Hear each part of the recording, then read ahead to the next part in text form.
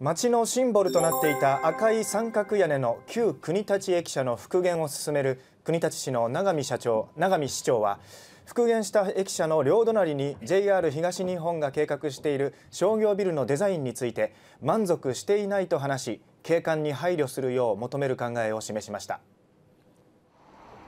旧国立駅舎は JR 中央線の高架化に伴って10年ほど前に解体されましたが国立市は市民の声を受けて旧駅舎を復元する計画を進めています。今年6月から建設工事を始め2020年2月の完成後は観光案内所などとして活用する予定です。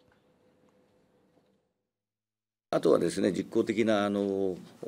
建設のみと設計建設のみということになってましたんでこの分ではほっとしたなということがあります。ただ気持ちが重いのは両脇をどうしていくかというね。復元する建物の両隣には JR 東日本が4階建ての商業ビルの建設を計画していて景観が損なわれるのではないかと反発する地元の経済団体が JR 側と交渉を続けています。今示されているものがですから十分市として満足しているものというふうに全くは思っておりません。文化歴史伝統というものが十分配慮した駅前のですね、えー、空間があの出来上げて作り上げていけたらなと思ってます。永見市長は引き続き JR 側の理解を得られるよう調整し景観に配慮した空間を作りたいと話しました。一方 JR 東日本は商業ビルの具体的なデザインや協議の内容についてコメントできないとしています。